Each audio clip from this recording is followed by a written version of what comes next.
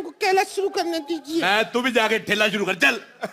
बदतमीज मेरे को बिल्कुल नहीं सब्ज़ी बेच जाल के अंदर चल सब्ज़ी बेच। आलो मटलो बिन लो प्याज लो अरबी किलो तोल लो बैंगन लो टिंडे भी चाहिए क्या? आलू लो प्याज लो पहले जाके चोर मार्केट से अच्छा सा मुँह लो।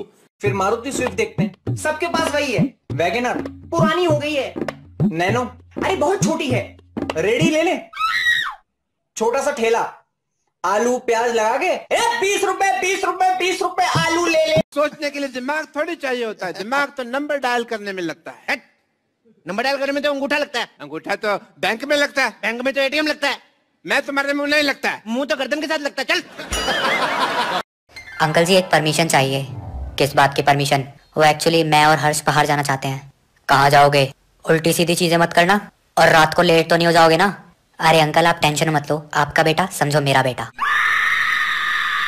वैसे डॉक्टर साहब बुखार हुआ कैसे आपको? फ़ोन ना मेरे को बुखार का फ़ोन आया। मेरे को कहता है कि मेरे को तेरे को होना है। मैंने कहा हो जा।